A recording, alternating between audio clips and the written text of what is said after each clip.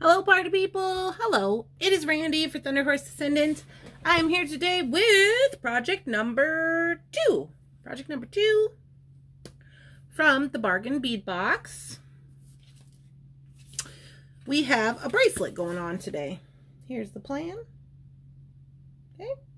Project two, multi-strand bracelet, technically. Um, and we are going to utilize the moonstone and the mermaid beads today. So I have those on the mat. So let's just down to the mat and get this part started. Okay, my party peeps, here we are down on the mat. oh, excuse me. Um, today we are going to be making this bracelet. And we are going to do a couple of different things here. We're going to do stretch bracelet with a leather bail. We're going to create that with some hang dangly down bits. You know, it's our favorite. So here's the beads we're going to be using. Let's take a look at those.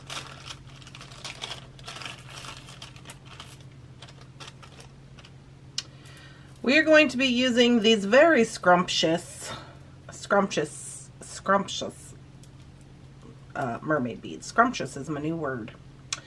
I like it. I do like it. Look at those bad boys. Super good. So fun facts, these are the same size, so that's good. these beads here, these are the moonstone. And then we have the little moonstone pendant, one of the flowers, and a leaf. Okay, so that's for our um, our hanging down business. Now for uh, what some other things we're going to need now I'm like, are these the same size? Are you guys the same size? Hmm. I don't know if it's just being, if it's just being funny or if they're really not the same size. So now, now I gotta look. um, okay, 8 millimeter peach quartz dyed. Okay, so 8 millimeter and then 8 millimeter frosted glass synthetic moonstone. So they're both claiming to be 8 millimeter. This one, I don't know if it's an optical illusion. It just looks bigger to me. But, okay. We'll believe you. We'll believe you. So here's some things that we're going to need for this project today. Um, I'm going to be using Stretch Magic cording. Um, this is one millimeter. Now you could use whatever you want. You could use a longa. You could use uh, elastic cording. You could use Stretch Magic. There's like a whole bunch of things you could use. I'm just going to go ahead and use the Stretch Magic in the one millimeter. We're going to need a um, couple of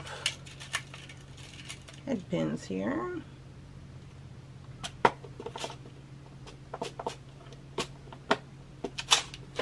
Okay. And we're going to need this little piece of leather to make our bail. Hopefully this one is big enough. Should be.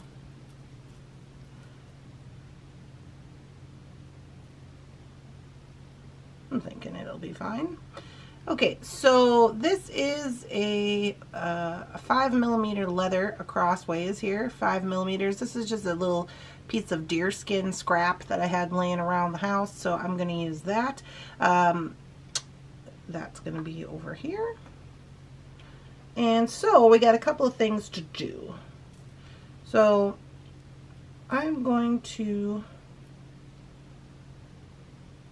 first, I want to make sure that 2, 4, 6, 8, 10, 12, 16, 18, 20, 22, 23, 23, 2, 4, 6, 8, 10, 12, 14, 16, 18, 20, 22, 23.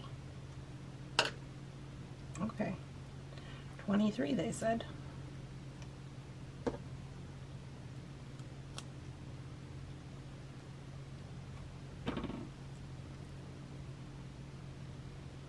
So I got the same amount of beads here. Well, this one's tied on.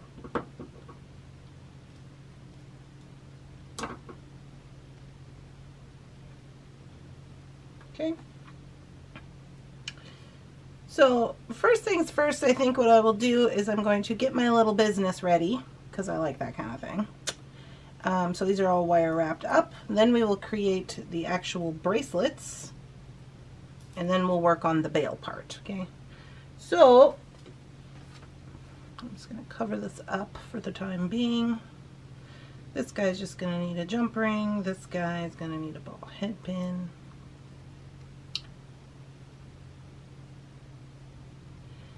Yeah.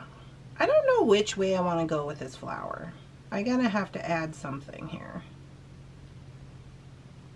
Because he needs a little something, but not too much something, because I don't want to take away from what we got. So let me look over here real quick like for some little gold something or others.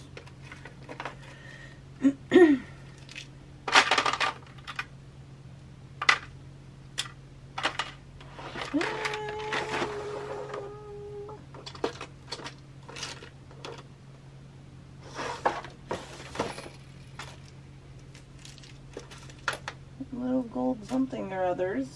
Okay. Little gold something or others seem to be in short supply at this point. So,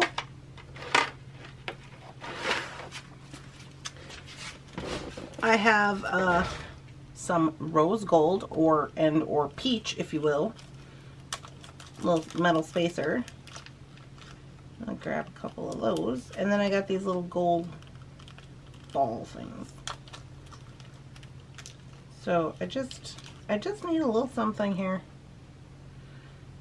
First of all, because the bead is too big for my ball head pin. So I got to put that little spacer guy down here on the bottom. And I think I'm going to go this way so that the flower is facing the top. You could also do it so it's facing the bottom. That is completely up to you. And then let me see if I can use both of these. Uh, not loving that. About just this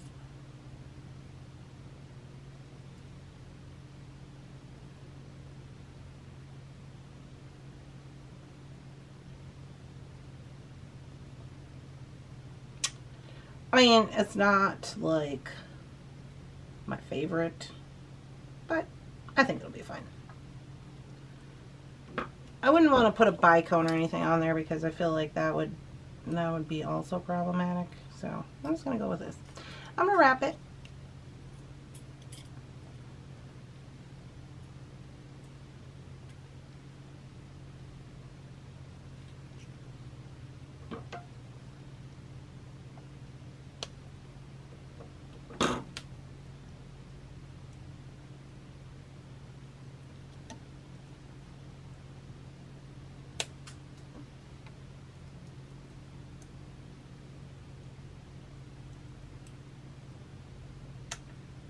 Okay, tuck this so he don't jump out bite nobody.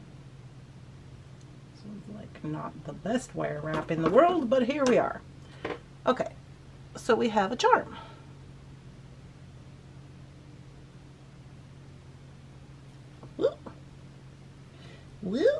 Okay, and then we have this guy. Now with this guy, Instead of using wire to wrap it like I probably normally would, I'm going to try to wrap it with this ball head pin just to give it a little something. And I'm going to try to not break it in the process. So, this is what I'm going to do. I'm going to put it on there. I'm going to leave like an inch of space. I'm going to bend this up 90 degrees, basically so it looks like an L. Okay. I'm just doing that because I don't want to break the glass. So the ball is in the front of the leaf. We have an, a backwards L.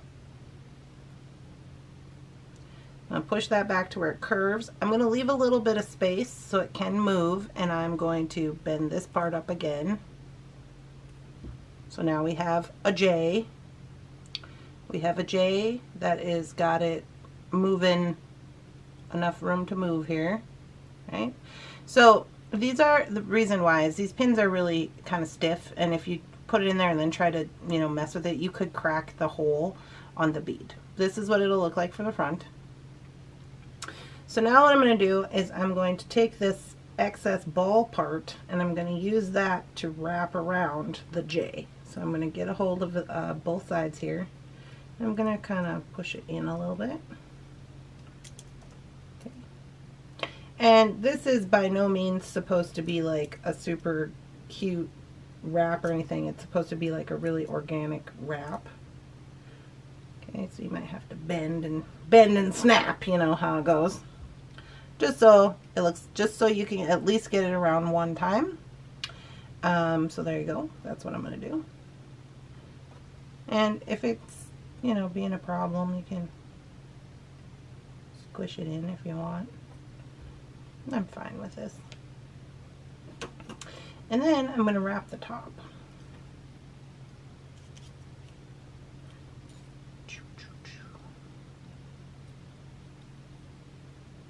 Again, messy wrap. So I'm going to go wrap around to the bottom and then wrap up to the top. And give it a cut. Whoops.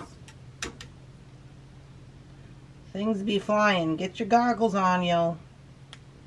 We got things going on here. And then this way he just looks really super kind of organic looking. He's got kind of a large bail to move around on. He's got the little ball up here. Kind of looks cute. You know, instead of just your regular old what have yous. So I like that. In addition, it's going to give this leaf a little more length. And that's what we want. Because we don't want these to really be all the same length. I might have to add a jump ring on this flower or the pendant, depending on which way it's going to hang. So anyways, these guys are ready to rock. They just need jump rings. So that's what I'm going to use. And now we're going to create these bracelets. And I've counted out these beads. They claim they're the same size, so it should be the same size.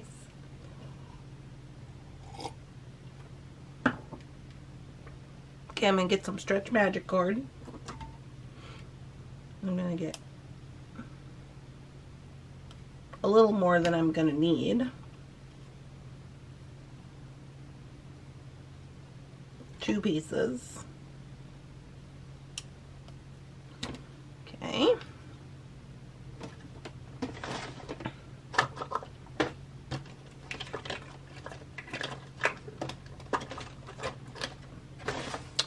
And then with Stretch Magic, you're going to want to pre-stretch the cording.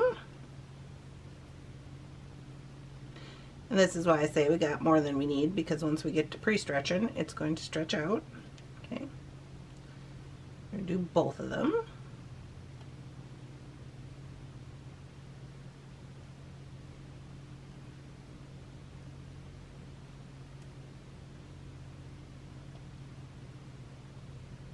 Alright. And now all we're going to do is string these up. So I'm going to start with the mermaids and we're going to string up the mermaids. 23 beads I had on my strand. Now it's possible you don't have 23 uh, because 23 is kind of a weird number. So if they split these strands it's possible somebody might have gotten 22 but if that's the case you're just going to have to adjust accordingly and since they're stretchy bracelets, it should be fine. We just basically want them to be the same size as what we're going for here.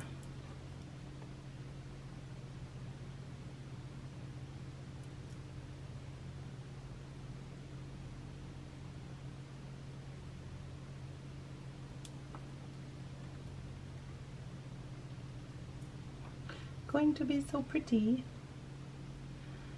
I love mermaid beads. I'm calling them mermaid beads. They're calling them synthetic moonstone beads, but to me, um, those are mermaid beads. so, that's what we're doing. And, you know, to be honest with you, I never thought about this peach color. I see these all the time at TF. And I always, of course, kind of go for the more vibrant colors, like a blue, a purple, a, white even, that's really pretty. Uh, I never really thought about this peach color before, but in this box, it's really working. So I like that. Okay. So here we are. Now this is how I do mine.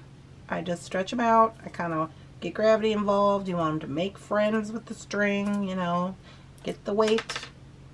Ooh, I caught him. Get the weight under control.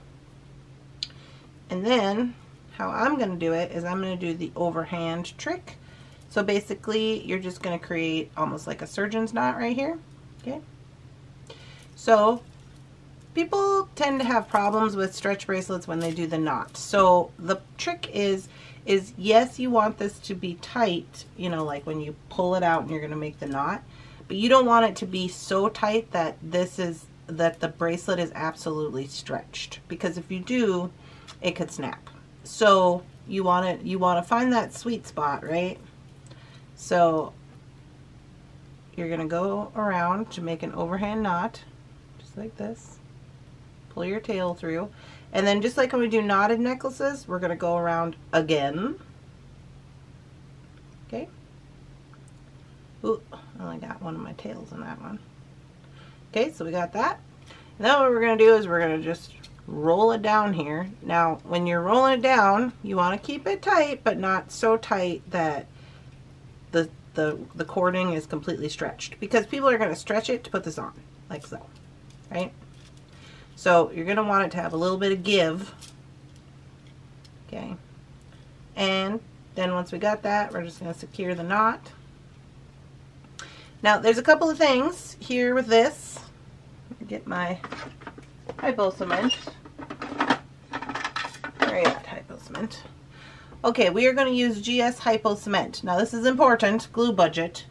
Um, there is a couple things you could do. I'm just, since I'm going to put my leather piece over these knots, like that's where I'm going to put the focal piece of my bracelet, I'm not worried about the knot showing. If you want the knot not to show, there's a couple things you could do. You could use a different cording and you could do a different knot that Sorry, my battery just died.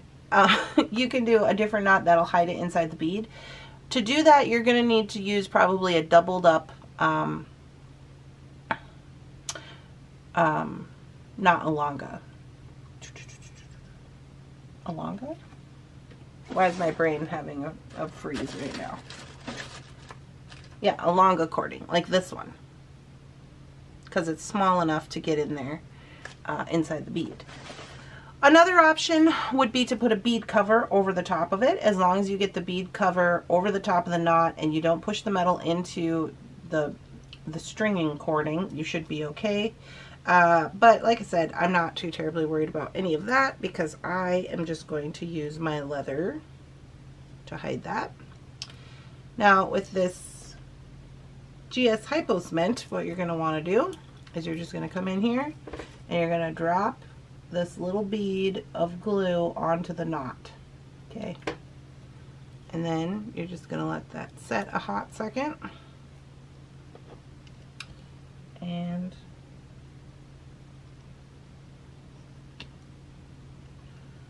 close that back up.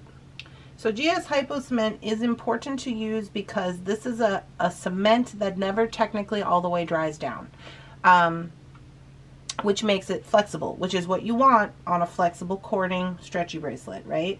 You don't want it, if you use uh, any other type of like super glue or say uh, like a, uh, oh, my brain is not working right now. Where's my coffee? if you use the Loctite glue, um, it's going to freeze it. This is plastic technically, and it's going to freeze it, and when it freezes, it's going to break immediately. Kind of like how you put super glue on crystals and they turn that white color. Yeah, you don't want that. So we're going to use that. Okay, once we got this on there, I'm just going to give this a little trim. I'm going to cut pretty close, and this is what we got. Okay, so while this one's drying, I'm going to get the other one going here.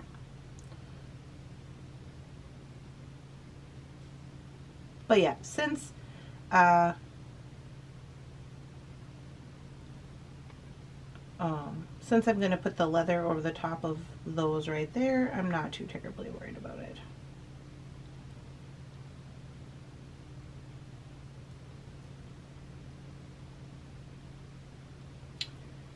Like to make stretch bracelets. I'm not going to lie to you. I love to wear stretch bracelets. It's some of my favorite. Because generally in the morning when I'm picking out stuff to wear, I'm always kind of in a rush.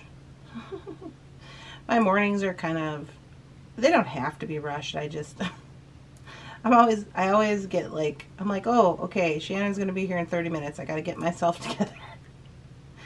But I'm up two hours before that, so I do that to myself. But anyways, but I just like it because, I don't know. But the thing with the stretchy bracelet is that, you know, eventually over time, it will, you know, probably break because the cord will get old or if you leave it in the sun or if it dries out, you know, whatever, could things could happen. Of course, you know, that's going to take some time, but that's why we've tried to do stretchies with other types of materials like the elastic cording. Um, I did a whole series of um, African trade bracelets with the um, elastic cording, which I really like, honestly. Okay, I'm making friends here. And then we'll bring these around. And we're going to tie them off the same way as we did the others.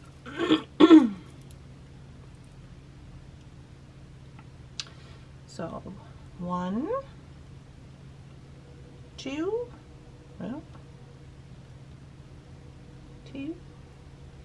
bring that down.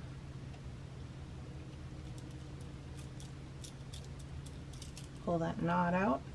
When you pull, you gotta pull a little bit this way because when you do that, it's going to uh, lock that knot into place, okay? So there's that. Going to go with our hypo cement, which is already drying up in the cap. It's on my fingers. Get off me. okay. Put that little dollop on there. that was kind of a lot. So the other thing is when you're using your hypo cement, you don't necessarily want to touch this metal tip to the wire, okay? I mean,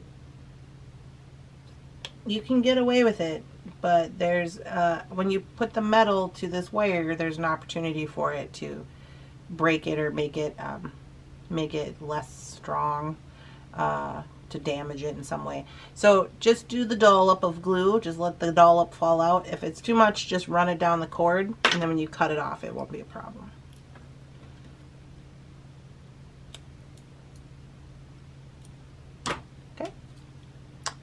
So there we go. We have our two bracelets.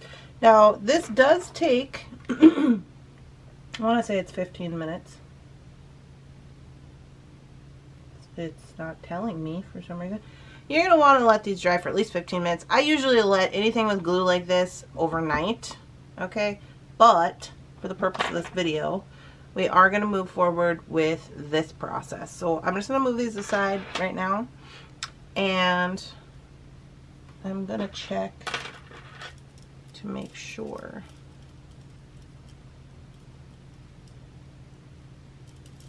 Yeah. So this little piece of leather here, excuse me, is two and a half inches long. Okay, and it's about perfect for going over the top of the two bracelets. So there we have that.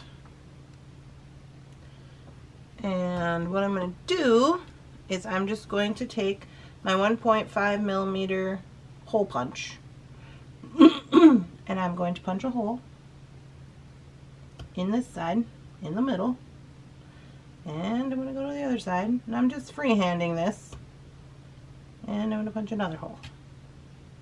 Okay. I'm going to take my poker thing, I'm going to poke it through there, to make sure that the holes are clear. And then on the back there will be a little little piece of business. We're going to cut off, I don't know if you can see it. Probably cannot. It's where I've poked through the leather. And we're just going to cut off that little piece. That's the piece that I poked through. We're going to do that on both sides. Okay.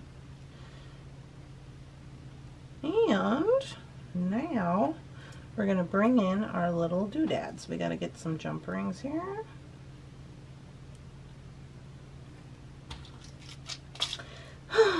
okay, let's see. How do I want to go about this? Do I want to use a round jump ring? Do I want to use a larger oval jump ring? All the decisions.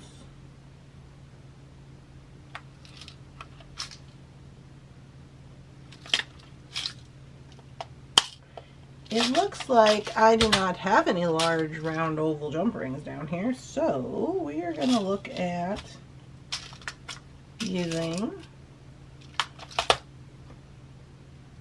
an 8 millimeter round. Now, it is possible that I might want to take some ovals, some smaller ovals, to give these length, depending on which way I want them to hang. So I am going to get a few of those out here. But I'm kind of thinking what I'm going to like to do is I'm going to want to attach all of these to this round. So I'm going to bring my bracelets in. They still are a little bit wet. It's fine. I'm going to I'm going to focus here on where the knots are, right? I'm going to line those up.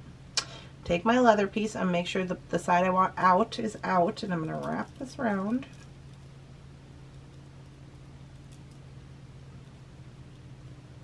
On here like so. And I'm going to go through these holes we've made and I'll try it. I don't know if it's going to work, but I'll try it to see if I like it. I'm just going to put on all three charms.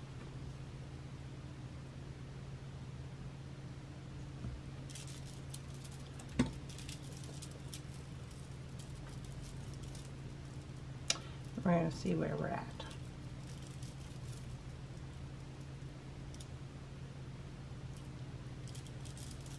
Okay, my bail is a bit larger than I would like. I could back up a smidge here.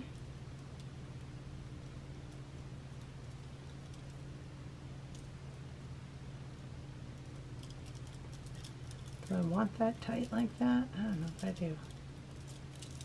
Me put it on.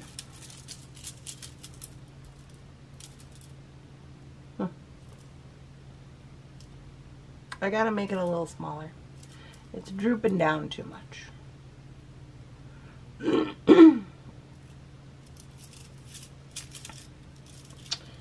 okay, and well, so that part we can fix.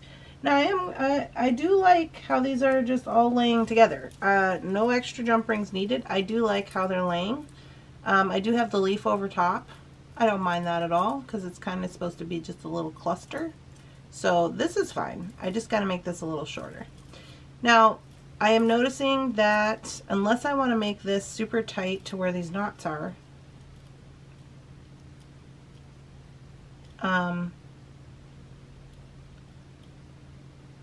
you are going to see the knot now. Again, you can leave it like that if you don't care. Um, you could use a, a larger bead cover. Um, quite honestly, I don't really care about it. And I also don't have any large bead covers, so there's that. um, but I am going to back this up a little bit and honestly, what I'm going to do is I'm just going to cut it off of there. I'm just going to back it up to, let's say, right here. Okay.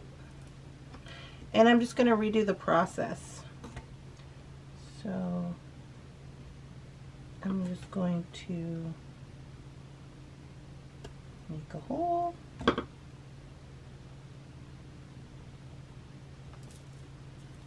flip it, cut the little nubby off, and then I'm just going to open it. Remember not to panic. We're not panickers. It's fine. And I'm going to take off this little piece that I had on there. Woo! Well, and I went and dropped it all.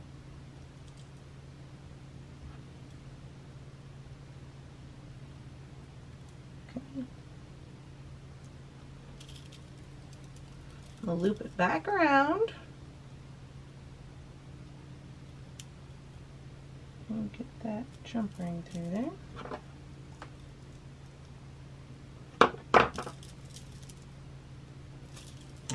Mm -hmm. Okay, yeah, that's a lot better. I like that.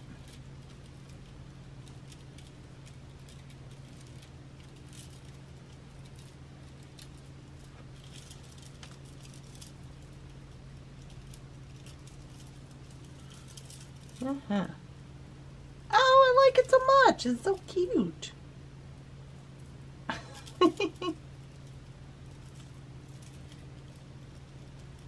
yeah, so I don't really foresee it staying right where, you know, over the top of the knot. But again, that's up to you. You could very well put some covers on there or whatever. Use a different type of, of stringing cord or whatever you want to do. Uh, nobody's gonna, in my personal opinion, nobody's gonna care about that, but but probably me, and I don't care. So here we are. I really like this. This is I really like this a lot. It's cute. Okay, so here is the finished product versus the design. I think it turned out pretty much exactly the way that we thought it was going to. And I do really like the colors. I think what is helping the colors is the green pop down here. I think that that is really, let me zoom out. I'll try it on for you. I think that is really doing something for it as far as the colorway. Um, so I'm just going to put them on. There we go. Ow! He's so cute. Let me see if I can get it to hang to the top. Just twist it around so you guys can see. Yeah? I love that little leaf. I liked the shape of those leaves when they came in because they're kind of like, I don't know, they're like bigger and kind of chunkier and square and I really like them a lot. That's so cute. Um, and I like how we did it with this, just with the ball head pin. It gives it like a really super organic look. And so there we go. That's cute. I, it, this is a hard angle to, to show you guys. Uh, but I'll put it down like this. But yeah, I think it's cute. And then the leather, because we did tighten it up and the leather is kind of a textured, it is keeping it in place when it's on, especially if you have a bigger wrist. Now my wrist is six and a fourth, so it is smaller. Um, but since you have the stretchy, you know, you, you know, you can, obviously, you can go a little further. Um, but it might keep it in place almost better on a larger wrist too because it does have still the back of the leather like texture which is kind of almost sticking to the beads and kind of keeping it in place which is nice. And got the cute little moonstone on there. Oh my gosh. Um, I might have to keep it. I might have to keep it you guys So cute. Oh, I wish they would have sent some more of those mermaid beads I would have made too. Alright guys, well, I hope you are enjoying these videos. If you are, please uh, subscribe to the channel. Make a comment. Leave it down in the comments what you think about this. Did you like this idea? Do you love these leaves? What's going on? How are things? What's going on with you? Um, let me know down in the comments. Uh, if you let me know that you like this type of content, I will continue to make this type of content. Uh, that's kind of how I judge it. So, you know, please make a comment. Uh, any interaction you can do with the channel is really good for me, and I appreciate that very much. Um, I would love to also see what you guys are making with your bargain bead box over in our Facebook group. Um, you're just going to use hashtag what's on my mat today. You'll see it throughout the group probably. Um, even if you've never chimed in in the group, don't be afraid. We're nice here. It's fine. we would love to see what you are making. Even if it's not this, whatever you're making, we would love to see. I hope you guys are having a lovely, spectacular, amazing day. I'll see you in the next one. Bye-bye.